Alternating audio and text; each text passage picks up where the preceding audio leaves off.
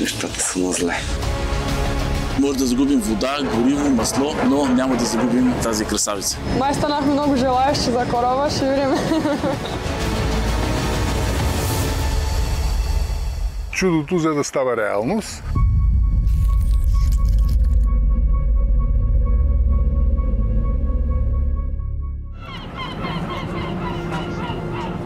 Началото на онзи ден, който трябва да влезе в полярната и военноморската ни история. Но той също има своето начало, което упорито се промъква в граничната зона между разбуждането и мъглата. Стана според мен съвсем случайно. Ние бяхме в Ахелой, където се бяхме събрали участниците в 30-та юбилейна българска антарктическа експедиция. И в това време ми звънна телефона адмирал Медникаров и зам министър Министерство на образованието и науката. Разсъждаваме за закупуване и придобиване на български научно-изследователски кораб. Някак си чудото за да става реалност. Той само след 4 часа беше в Хелой. Седнахме и започнахме да разсъждаваме. Две години и половина по-късно сме тук. След няколко часа ще застанем на котва в Южния залив на Ливингстън. Може би бяхме увлечени от порива на Христо. Към този момент имахме идеята за друг кораб, доста по-малък, но започнахме да работим заедно, намерихме искател. Искател стои неизползван и ненужен вече 4 години, привързан на Кейн на пристанище Варна. Собственикът му дори е планирал след време да го продаде за скраб. Но под задрания чувал опитното око съзира истински боен кон. Видях кораб, който е в добро техническо състояние, малко поизоставен, позанамарен. Това, което е прекрасно за кораба е първо, че неговия корпус и износенето на корпуса е в рамките само на 2%, което означава, че има още доста живот в него. Второ, което е прекрасно, този кораб е бивш саплайер и е строен в норвежка корабостроителница. Строен е по всички световни изисквания на Международната морска организация за безопасност което означава, че целият кораб е с танкове по неговите бордове, включително и през дъното което допълнително дава спокойствие на екипажа и както и на мен, че ако ние случайно получим пробойна в някакъв район от айсберг или от нещо друго, естествено може да загубим вода, гориво, масло, но няма да загубим така тази красавица. Бяхме ограничени от финансовите ресурси, купихме кораба на една много, много ниска цена. Парите, които държавата отпусна за кораба, бяха по-низки от стоеността на желязото на кораба като скраб. Корабът е построен преди 37 години като спомагателен да обслужва нефтени платформи. Става искател, след като последният му собственик го преоборудва за строителството на газопровода Южен поток. След прекратяването на проекта, корабът си търси нов собственик. И така среща интереса на военноморското училище.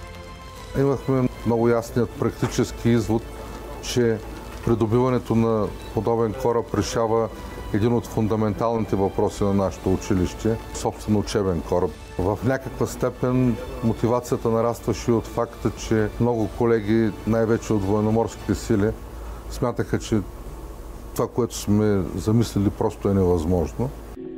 И това извънредно предизвикателство среща нужния кораж. Проектът се управлява от консорциум на Военноморското училище, Софийския университет и Българския антарктически институт – Започват тежки процедури по придобиването на кораба и по възстановяването на техническите му възможности след толкова дълъг престой. Но освен по двигателя, най-сложна и деликатна се оказва работата по азимутните движители или най-важното предимство за един истински научно-изследователски кораб, влязъл в регистрите вече като НИК 421 възможността кораба да се позиционира на едно място с благодарение на тези движители азимутни витла, които се въртат на 360 градуса и двете подруващи устройства, буквално кораба може да стои в една точка спрямо морската повърхност, за да осигурява дълбоководни геоложки изследвания, както и водолазни спускания. И две години и половина от началото и рекордно кратък срок за подготовка. Всички очи сега са втренчени в кораба, призван да преобрази полярните ни мисии. Тревога имах малко. Няма как да нямам някакви тревожни мисли. Сме да твърда, че някъде към 27 декември, именно дата на нашето отплаване, ние бяхме готови е, да се справим с е, задачата.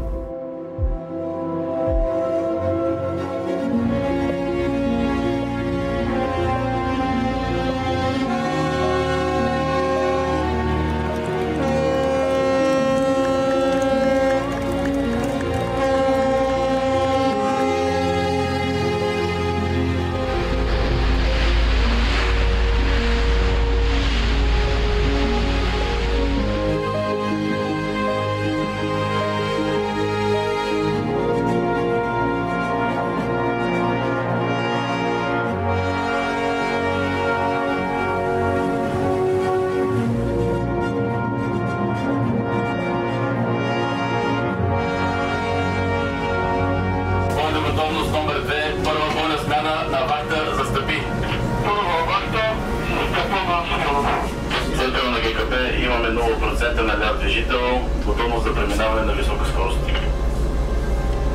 Имаме готовност. Като електроход за всичко, корабът разчита на три електрогенератора, всеки от които произвежда 1250 кВт. С тях се захранват и азимутните движители с витлата. И за да се увеличи скоростта, трябва да се включи поредния генератор. Колеги, предайте си вахта. Подготовка на дизел генератор номер 2 за запуск. Имате добро. Благодаря. Първо действие, което трябва да направим, когато подготвим генератора за запуск. До следващата спирка, испанското пристанище Картахена, корабът минава на ускорен режим на обучение. На борда му са качени 23 курсанти, трябва да затвърдят знанията си и на практика. Отваряме индикаторното клапане, Проверявате индикаторните трябва. Да. И първо какво трябва да направите? запускаме въздуха. Не. Това го казахме. Пускайте първо маслена помпа, за да смажете двигателя преди да почнете да. Правиме протухване с въздух, затваряне индикаторни екрана. Под твое ръководство. Аз ще я гледам. На кораба сме от около година. Ние механиците даваме дежурства тук и като цяло лято участвахме в работната дейност на кораба. Помагахме. И кораба сме го познали доста добре. Като ни вкарат директно в ежедневието на екипажа, това е една доста добра практика за бъдеще, когато станем офицери. Преди малко проверявах температурата на цилиндрите. Проверявах охлаждаща вода, солена вода. Това е да. Това, това съм си представил винаги. За това уча да съм тук. Станахме много желаящи за кораба, ще видим. Натискаш му копчето, отстрани, така, изчакваш го да се заработи. Мостик нацепил. Слушам. Имаме трети дизел генератор в паралел. Разбрах.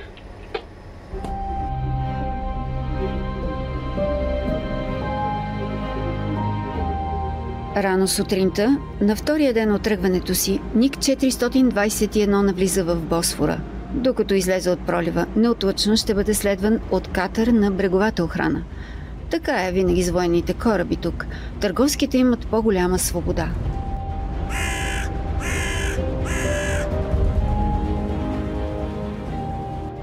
Докато не измина 30 км на пролива, никой няма да си позволи почивка. Босфор се смята за един от най-трудните за преминаване. Сектор Кадикюи, sir, uh, we waiting for permission um, to stay at anchor in Anchorage area B. How do you read me? Over. Корабът се движи по течението, което е доста бързо. Най-вече заради огромната разлика в солеността на смесващите се потоци. Горният слой изнася по-сладката и по-лека черноморска вода, а долният срещу положен поток е с по-солената вода, която върви от мраморно към Черно море. Изчакваме разрешение за заставане на котва, колеги. Е, Като не дадат разрешение, с сигнал ще подходим за заставане на котва. Разбрах.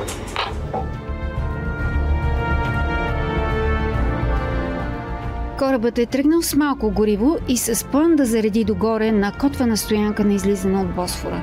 Този вариант, предложен от логистичната агенция на НАТО, която ни обслужва, е най-изгодният за нас, така че търпеливо си чакаме реда на внушителна опашка от кораби. Има доста предимства кораба да бъде военен. Военните кораби на повечето полярни държави, научно-изследователските кораби са под военен флаг. Първо, военните имат доста по-сериозна дисциплина. Освен това, те имат много тесни връзки, така че когато поискаш да акустираш в едно пристанище военно, ти ще отидеш там и ще те приемат почти без да плащаш някаква сериозна сума, докато в гражданските пристанища сумите са доста солени. След няколко часа закъснение, Ник най-накрая получава координати, къде трябва да се закотви.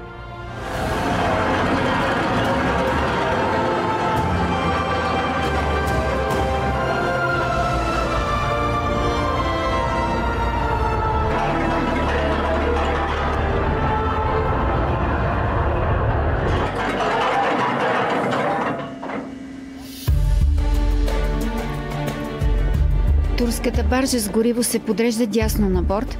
Тя трябва да прелее 560 тона гориво. Това ще отнеме часове и през цялото време процесът се контролира стриктно.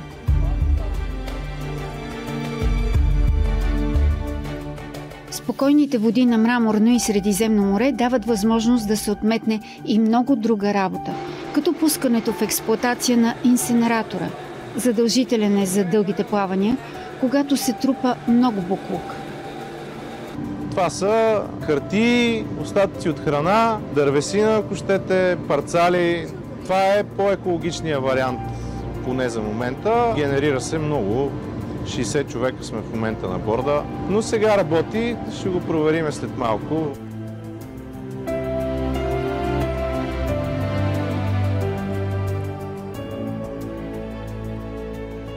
Част от автономността на кораба е и оборудването за обратна осмоза или възможност да се произвежда сладка вода от морската. Тръгваш тук, морска вода. Оп, преминаваш. Фит помпата.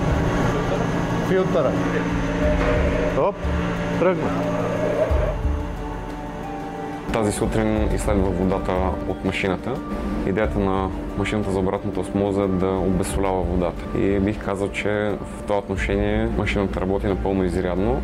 Водата беше с минимално количество иони в нея. Корабът в случая не разчита на апаратурата за обратна осмоза. Резервуарите са заредени още от Варна със сладка вода, но сега тя трябва да се хорира, за да стане безопасна за ползване. Всеки препарат си има дозировка според нуждите. Дали за питейна вода, дали за дезинфекция. Едно, две. Това е отвора за резервуара за сладка вода, който използваме на ляв борт. Сега отиваме на десен борт, където има същият резервуар с малко повече вода. 41 кубика и половина, 41 таблетки и половина. Това на, на всеки ли се слага? Не. Колко е? Ами измервам а, хората, която е във водата в, в чешмата и си правят дозата. Чистата и безопасна вода са само част от задълженията на доктора. С напредването на експедицията, неговият кабинет става все по-популярен. Оплакванията са най-вече от болки в кръста.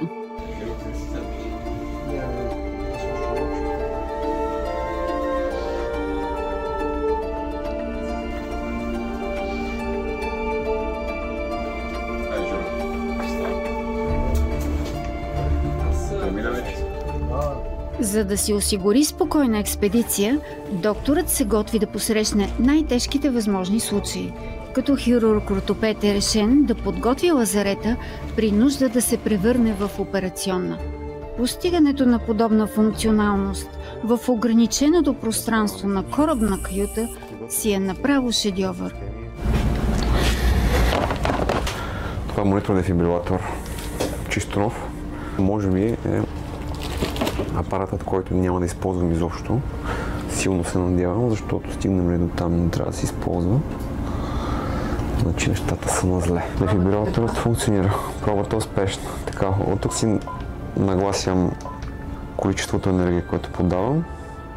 Зареждам го. и натискам копчето.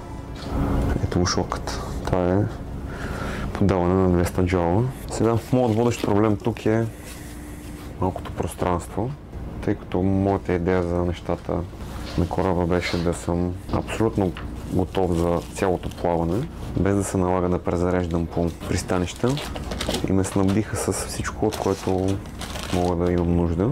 И сега се чуди как да го събера. Но това са ми проблемите. Каквото може да се направи на кораба, ще го направя. Сега това, което аз очаквам най-вече е а, травми, защото тук има много ръчен труд с машини, с оборудване и някой може да си хълса пръста. С нощи се случи един от механиците, някаква количка да му падне върху пръста на крака един. На доктора така и няма да му се наложи да използва операционната до края на пътуването. Но определено не остана без работа. От морска болест, респираторни оплаквания, болки в кръста, травми, стрес и известни прояви на моряшкия синдром хвана го желязото. Корабът е екстремна среда, още повече на дълги плавания.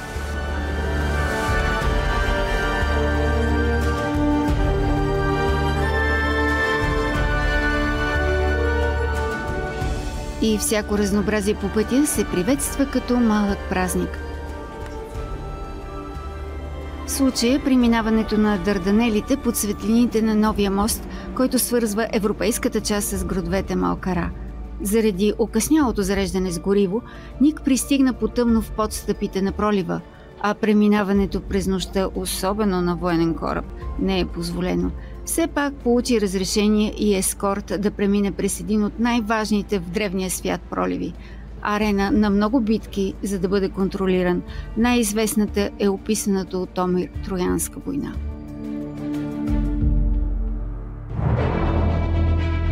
Картахена е първата спирка на полярния ни кораб на път към ледения юг. Ще акостира във военно пристанище с многовековна история, а началото на самия град се губи в хилядолетията – Картахена ще влезе в историята и на първата полярна експедиция на Ник с едно от най-сериозните препятствия пред кораба.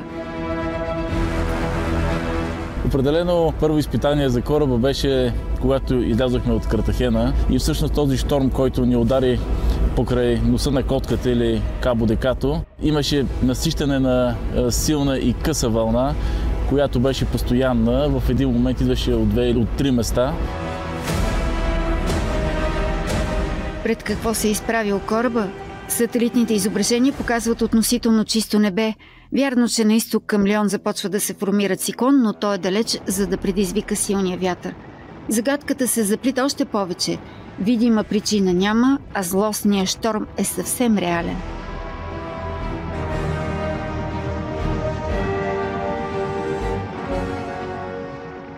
Визирам наистина големи вълни. Е, от прадъка на 8 до 9 бала по скалата на Бофорд.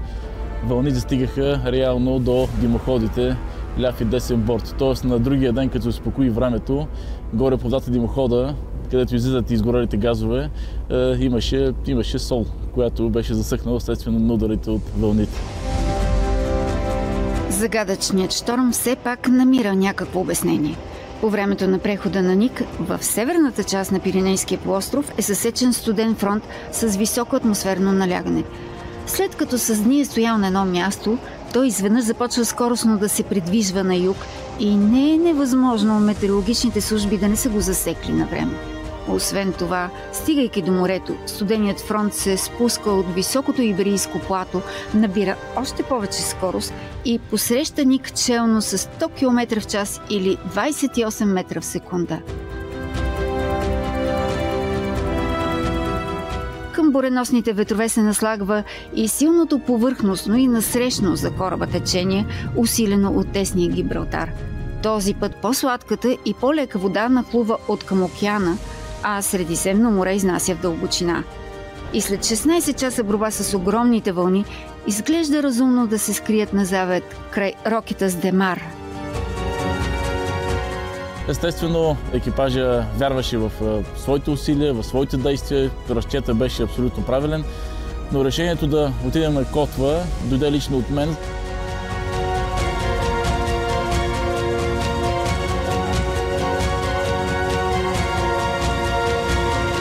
След това голямо премеждие, плаването през океана си е направо лежерно, сравнително спокойно, доста по-бързо и по течението.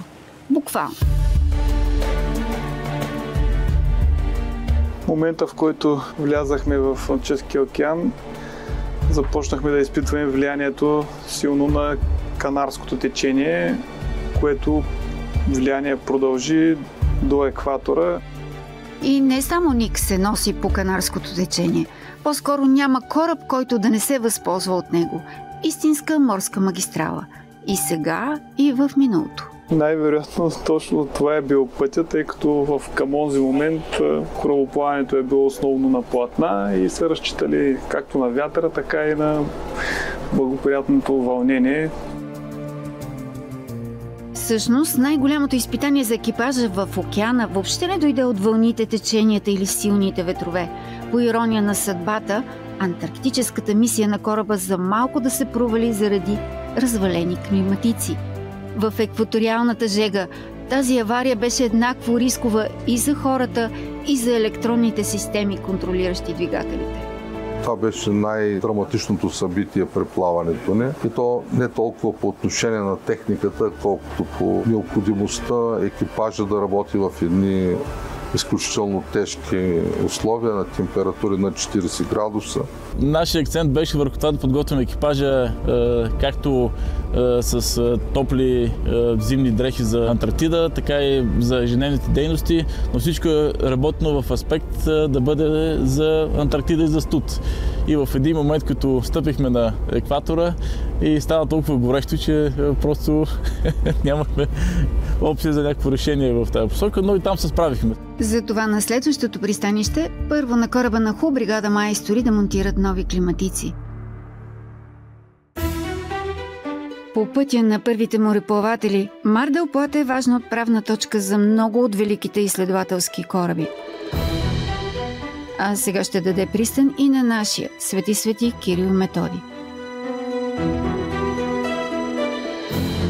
След 25 дена прекусяване на Атлантика, военноморската база на Мар Плата е първата възможност корабът да зареди отново с гориво и провизии. Екипажът тук има много приятели, но никой не очакваше толкова топло и тържествено посрещане.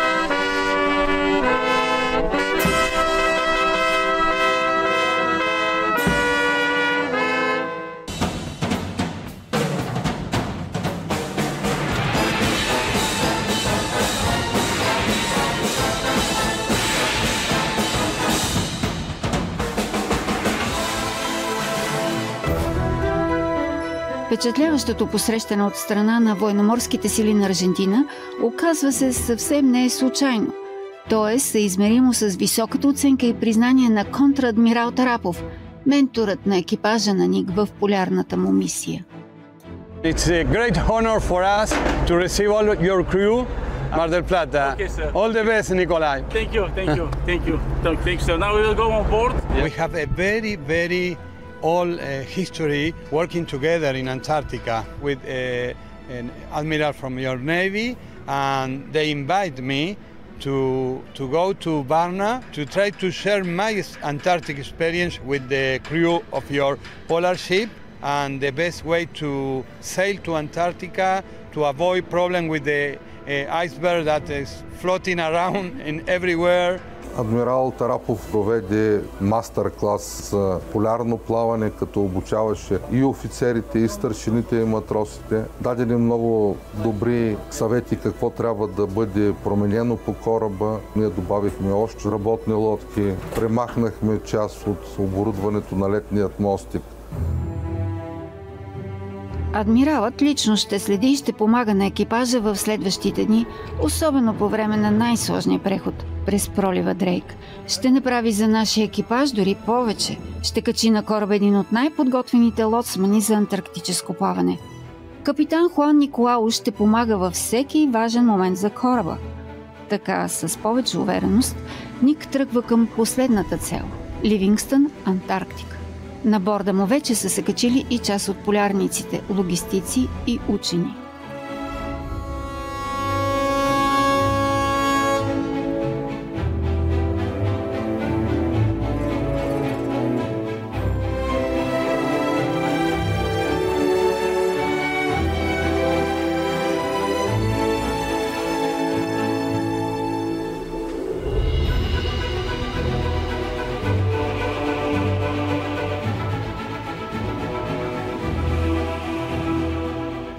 Проливът Дрейк трябва да е следващото голямо изпитание.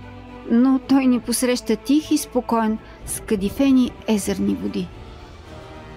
При Дрейк характерното е това, че ако забележите световната карта, от тук е единството място, откъдето е, минава световния океански поток. И в крайна сметка винаги тази стихия е, допринася с това да има постоянни течения от запад, силни течения, които освен ветрови, водят със себе си големи циклични циклони. За разлика от северното полукълбо, морските течения около Антарктида не срещат никакви прегради и успяват да затворят своя цикъл.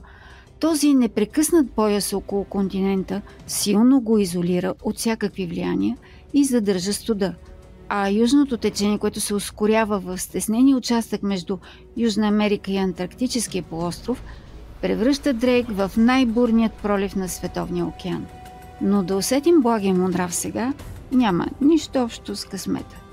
Това беше въпрос на изключително добро планиране. В продължение на над 10 дена ние следяхме прогнози, разглеждахме различни модели, различни подходи или по-скоро стратегии как да минем през Дрейк. И успяхме да се шмугнем или да навлезем в фунията между два циклона. Съответно, един действа в момента от западна страна, другия от източна, а ние сме между тях в спокойни води. Та, това е този циклон, който седяхме доста така изкъсо да кажем, тъй като можеше неговото влияние да е по-сериозно върху нашето движение, но както виждаме той се генерира около Фолкландските, слезе на юг и в момента се изтегля източно от пролива на Дрейк. Еми, сега ново пребрежие, влизаме в мъгла. В момента сме на две радиокационни станции, което ни помогна да водим по-добро радиокационно наблюдение, тъй като вчера получихме и навигационно предупреждение за плаващ айсберг, който обаче е доста далече от нас, той е по-источно. Някъде на около 300-350 мили от нас.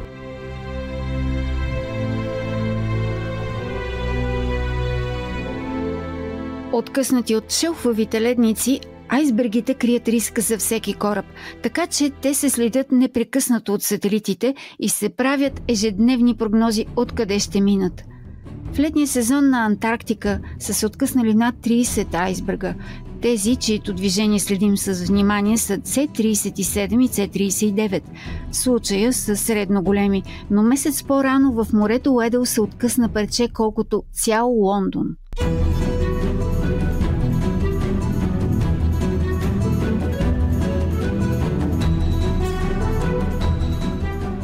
Първият от южношетландските острови вече е на хоризонта – Ник се шмугва между Антарктическия полуостров и архипелага около остров Кинг Джордж.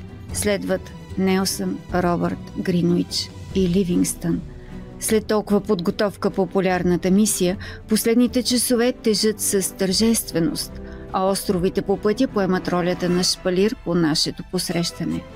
Ниските слоести облаци, които ги прикриват, само им придават повече загадъчност. Ледената атмосфера ще си поиграе още малко с изострените усещания за извънредност. Ник ще акустира в залива пред българската база и ще започне ново летоброене в историята на полярните изследвания.